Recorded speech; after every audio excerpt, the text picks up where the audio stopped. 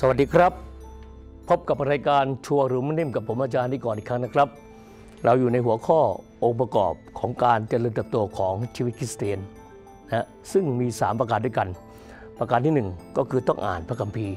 เราใช้ถึง 3 ตอนในการพูดนั้นท่านผู้ชมสามารถกลับย้อนไปดูได้นะครับ ว่าอ่านพระคัมภีร์เป็นปัจจัยที่สำคัญครั้งแรกและเริ่มต้นของการเจริญเติบโตของชีวิตคริสเตียน วันนี้เราจะมาสู่องค์ประกอบอันที่สองครับของการเจริญเติบโตของชีวิตคริสเตียน อย่างที่สองเนี่ยคืออะไรครับ นั่นก็คืออย่าขาดจากการนมัสการ พระคัมภีร์นะครับบันทึกไว้อย่างนี้ และขอให้เราพิจารณาดูว่าจะทำอย่างไร จึงจะปลุกใจซึ่งกันและกัน ให้มีความรักและทำความดี อย่าขาดการประชุมเหมือนอย่างบางคนที่ขาดอยู่นั้น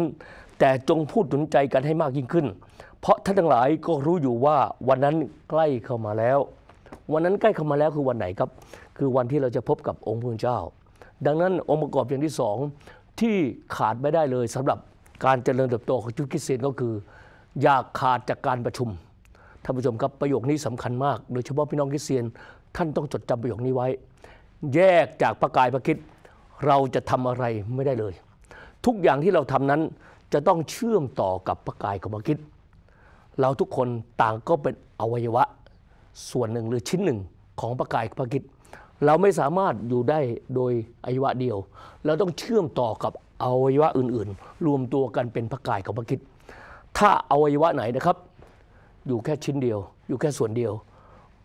มันไม่ใช่กายครับเขาเรียกว่าชิ้นส่วนครับชิ้นส่วน แล้วชิ้นส่วนนะครับ มันอันตรายมากๆเลย ดูนะครับ นิ้วโป้ง ตอนนี้ติดอยู่กับอะไรครับไอวัยวะอื่นในร่างกายผมใช่ไหมครับนิ้วโป้งฮะเมื่อมันติดอยู่กับร่างกายผมเนี่ยมันทำไมครับ มันจะมีประโยชน์มาก แต่ถ้าวันหนึ่งทำไมครับ มันถูกตัดออกอย่างนี้ตัดออกตัดออกตัดออกโปะฮะนิ้วโป้งนะครับ ถ้าถูกตัดออกจากร่างกายผมนะครับ จะมีสามอย่างเกิดขึ้นกับมัน ประการที่หนึ่งมันจะไม่มีประโยชน์ ไม่มีประโยชน์เลยครับ นิ้วโป้งจะมีประโยชน์ได้ตราบเมื่อมันยังเชื่อมอยู่กับอวัยวะอื่นอยู่ในร่างกายนี้ แต่ถ้ามันถูกตัดออกทิ้งออกไป มันจะไม่ประโยชน์เลยครับ อย่างที่สองครับถ้านิ้วโป้งนิ้วนี้ไม่ติดกับอวัยวะอื่นในร่างกาย มันอยู่ตัวก็เดียวโดดเดี่ยว มันก็จะทำไมครับ มันก็จะ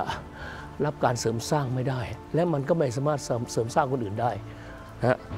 อย่างที่สามครับนิ้วโป้งนี้ ถ้าไม่ติดอยู่กับร่างกายนี้ หรืออวัยวะอื่นๆ ประกอบเป็นร่างกาย นิ้วโป้งนี้ก็จะน่ากลัวด้วย สมมติท่านผู้ชมนะครับ กวาดบ้านอยู่ กวาดบ้าน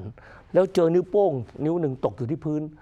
ท่านผู้ชมจะหยิบขึ้นมาแล้วพูดอย่างนี้เหรอครับ โอ้น่ารักจังเลยมีอย่างนี้เหรอครับท่านผู้ชมคงทำไมครับ ว้าว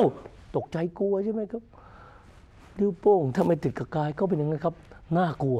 และไม่เพียงแต่น่ากลัว มันกำลังเน่าด้วยครับเพราะมันไม่สามารถเชื่อมต่อกับอะไรครับอวัยวะอื่นๆได้ ท่านผู้ชมครับ ดังนั้นเช่นเดียวกัน เราที่เชื่อองค์พระเยซูคริสต์เราเป็นเหมือนอวัยวะเปาโลบอกเลยครับเราเหมือนอวัยวะที่เชื่อมต่อกับอวัยวะอื่นๆ รวมกันเป็นพระกายกับพระคิดเราไม่สามารถอยู่ได้ด้วยเอกเทศ ดังนั้นอย่าขาดจากการนมัสการ การประชุมการร่วมตัวกันนะเพราะอะไรครับแหมคนจีนก็บอกว่าตะเกียบด้ามเดียวหักง่ายนะหลายด้ามก็หักยาก ถ้าคุณอยู่ตัวคนเดียว คุณไม่ร่วมกับคนอื่นเลย คุณจะไม่มีพลังไม่มี ความเข้มแข็งในการที่จะเผชิญกับสิ่งต่างได้ คุณจะไม่ประโยชน์ คุณจะรับการเสริมสร้างไม่ได้ และไม่สามารถเสริมสร้างคนอื่นได้ และสุดท้ายน่ากลัวครับกำลังจะตาย เพราะกำลังจะเน่า ดังนั้นเครื่องหมายของคนที่เป็นคริสเตียนจริง อย่างที่สองขาดไม่ได้ ก็คือเขาจะไม่ขาดการนมัสการชีวิตใหม่จะผลักดันให้เขาที่จะเข้ารวมกลุ่มกับคริสเตียน รวมกลุ่มกับพี่น้องคริสเตียนท่านอื่น กลายเป็นพระกายที่งดงามของคริสตจักรครับ ดังนั้นคนที่ได้รับชีวิตใหม่จากพระเยซูคริสต์นะครับ พลังแห่งชีวิตใหม่ของพระเยซูที่ให้แก่เขาเนี่ยจะมีแรงผลักดันให้เขาทำไมครับ ต้องมีความรักรักอวัยวะอื่นๆ และรวมตัวกันเป็นร่างกายพระกายที่งดงามของพระคิดก็คือคิดจักรนะครับท่านผู้ชม ดังนั้นองค์ประกอบอย่างที่สองเนี่ยสำคัญที่สุดนะครับอย่าขาดจากการรวมตัวกันหรือประชุมนมัสการ หรือรวมตัวกันเป็นคิดจักร หรืออย่าห่างจากการที่จะแยกตัวเป็นเอกเทศจากพระกายพระคิดคือคิดจักร พระเจ้าให้เราอยู่ในคริสตจักรไหน เราก็อยู่ในคริสตจักรนั้น แล้วมีโอกาสเสริมสร้างซึ่งกันและกัน บางคนว่าไงเฮ้ยฉันอยากจะหาคริสตจักรที่สมบูรณ์แบบสมบูรณ์แบบนะครับ พี่น้องครับคริสเตียนที่รักครับ ไม่มีหรอกครับคริสตจักรที่สมบูรณ์แบบ หลายสิบปีที่แล้วเนี่ยผมได้ยินเรื่องเล่าของอาจารย์บิลลี่แกรแฮมท่านบิลลี่แกรแฮมเนี่ยอาจารย์บิลลี่แกรแฮมเนี่ยท่านได้เล่าบอกว่าวันหนึ่ง ท่านเทศนาลงมาจากธรรมาสน์มีสามีภรรยาคู่หนึ่ง เดินมาหาท่าน แล้วก็พูดกับอาจารย์บิลลี่แกรแฮมอย่างนี้ครับ บอกว่าอาจารย์บิลลี่แกรแฮมครับ เราสองคนเนี่ยประทับใจคำเทศนาท่านมาก บิลลี่แกบอกว่าขอบคุณครับ ขอบคุณพระเจ้า แล้วสองสามีภรรยาเขาบอกว่า อาจารย์ครับช่วยอธิษฐานเผื่อเราสองสามีภรรยาหน่อย อาจารย์บิลลี่แกรแฮมก็เลยถามว่า อยากให้อธิษฐานเผื่ออะไรล่ะสองคนก็บอกว่าผมสองคนเนี่ยนะผมกับภรรยาสองคนเนี่ยกำลังแสวงหาคิดจักที่สมบูรณ์แบบนะอาจารย์ช่วย อธิษฐานเพื่อเราจะหาคิดจักรที่สมบูรณ์แบบได้ด้วยครับ เพื่อเราจะเข้าเป็นสมาชิก อาจารย์บิลลี่แคมบอกตอบว่าไงครับ ผมยินดีอธิษฐานเผื่อคุณนะแต่ก่อนเพื่อที่ผมจะอธิษฐานเผื่อคุณนะครับ ผมขอบอกคุณนิดนึงก่อน ถ้าบังเอิญเนี่ยคุณไปพบคิดจักรที่สมบูรณ์แบบ คุณสองคนอย่าเข้าไปนะครับสองสามีภรรยาก็เลยถามว่าทำไมไม่ให้เราเข้าไปล่ะครับวิลเลแคบอกว่าถ้าคุณเจอคิดจักรที่สมบูรณ์แบบเมื่อไหร่นะพอคุณเข้าไปปั๊บเนี่ย มันจะขาดความสมบูรณ์แบบทันทีเลยบกพร่องทันทีเลยความหมายของท่านคืออะไรครับ ไม่มีคิดจักไหนสมบูรณ์แบบหรอกครับ เพราะเรากำลังทำไมครับถูกสร้างใหม่ มีครั้งหนึ่งครับ ผมไปเทศที่คริสตจักรหนึ่งแล้วหลังจากเทศนาเสร็จตอนบ่ายแล้วมีการถามตอบนะขณะที่ถามตอบเนี่ยผมก็ให้เขาเขียนคำถามมาแล้วก็อ่าน มีคำถามหนึ่งครับ เขียนถามผมอย่างนี้ ถามว่าอะไรครับ อาจารย์ เราเนี่ยสามสี่คนมาเป็นคริสเตียนได้สามสี่เดือนแล้ว การที่เรามาเป็นคริสเตียนนะ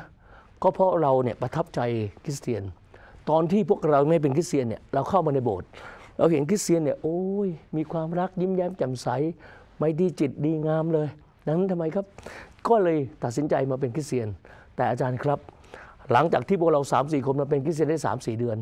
เข้ามาพบกับบรรยากาศจริงในคริสตจักร ทำไมคริสเตียนบางคนยังทะเลาะกัน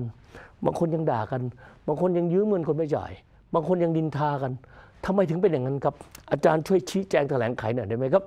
ผมก็บอกกับพี่คนนั้นบอกว่าไงครับคำถามนั้นว่าไงครับ ผมบอกว่าท่านทั้งหลายต้องจำไว้นะครับ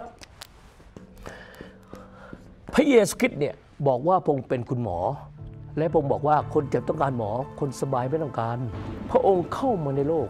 ไม่ใช่มาหาคนที่คิดว่าตัวเองเป็นคนดี แต่มาหาคนเหล่านั้น ที่สำนึกว่าเป็นคนบาปให้พ้นจากความบาปของเขาผมก็บอกเลยครับจำไว้ตลอดชีวิตเลยนะครับคิดจักทุกแห่งเนี่ยเหมือนโรงพยาบาล และโรงพยาบาลแห่งนี้นะครับ มีหมออยู่คนเดียว คือองค์พระเยซูคริสต์ผมก็บอกว่าเวลาท่านไปโรงพยาบาลนะครับ ท่านก็ไปหาหมอสิท่านไปหาคนไข้ทำไม ท่านไปหาคนไข้ ท่านก็ติดเชื้อสิครับ พี่น้องก็หัวเราะ แล้วผมก็บอกเลย คนที่เป็นสมาชิกในคริสตจักรรวมทั้งอาจารย์ศิษยพิบาลทั้งหลายเนี่ยแล้วก็เหมือนคนไข้ครับเรายังไม่สมบูรณ์แบบนะเราก็ต้องการการรักษาจากองค์พระเยซูทั้งนั้น เพราะพระเยซูเป็นคุณหมอ พี่น้องครับอย่าขาดการนมัสการ อย่าขาดการประชุม ถึงแม้คิดจักรจะไม่สมบูรณ์แบบ แต่คิดจักรเป็นสถานที่ทำไมครับ เสริมสร้างซึ่งกันและกัน แน่นอนชีวิตก็มีการบาดเจ็บ แน่นอนคนจำนวนมากมาอยู่ด้วยกัน พื้นเพต่างกันมาอยู่ด้วยกัน มันก็เกิดการขัดแย้งกัน หรือว่าเห็นบางอย่างที่แตกต่างกัน ก็เกิดการขัดแย้ง แต่เราใช้พระคำของพระเจ้าเป็นมาตรฐานครับ ก็ทำให้ทำไมความขัดแย้งนั้นสลายลงได้ ถ้าทุกคนต่างก็ยอมถ่อมใจ เชื่อฟังความจริง แห่งพระวจนะของพระเจ้านะแต่ถ้าวันหนึ่งรู้สึกว่าเอ๊ะแนวทางคนละอย่างกัน ก็จากกันได้ดีครับ ไม่ใช่ตากกันแบบอะไรครับ ทะเลาะแล้วไม่มองหน้ากันอีกต่อไป ก็คุยกันด้วย แบบพี่น้องนะครับบอกว่าเอ้ย แนวทางไปด้วยกันไม่ได้นะ เราก็ทำไมแยกกันอย่างสวยงาม ดังนั้นเนี่ยเครื่องหมายของการที่จะแยกคิดจักก็แยกได้ครับ แต่ต้องแยกให้สวยถูกต้องก็คือแยกด้วยกันจับมือกัน ไม่ใช่แยกด้วยกันมองหน้ากันไม่ติดนะผมเห็นคริสเตียนจำนวนมากนะครับ พอโบสถ์นี้ทะเลาะกับโบสถ์นี้หรือไม่พอใจ ก็ย้ายไปโบสถ์อื่น พอไปโบสถ์อื่นไม่พอใจก็ย้ายโบสถ์นึงย้ายไปเรื่อย อย่างนี้ไม่ถูกต้องครับลูกของพระเจ้า ต้องเป็นลูกแห่งการคืนดี สมมุติว่า มีคนหนึ่งครับเดินมาเดินเดินเดิน แล้วก็หกล้มปุ๊บหกล้มตรงนี้หกล้ม ผมถามท่านผู้ชมเขาเดินมาหกล้มตรงนี้เขาลุกตรงไหนครับเขาก็ต้องลุกตรงที่เขาหกล้มใช่ไหมครับ มีที่ไหนครับล้มตรงนี้กระดึบกระดึบไปลุกที่อื่น ถ้าตรงไหนเรารู้สึกว่าขัดแย้ง หรือว่าสะดุดล้มลง ก็ลุกขึ้นมาตรงนั้นครับ คืนดีก่อน แล้วค่อยทำไมค่อยออกไปเนี่ยสำคัญมากๆเลยครับดังนั้นนี่คือหัวข้อที่สำคัญมากๆ ถ้าจะเจริญเติบโตชุดคริเตียน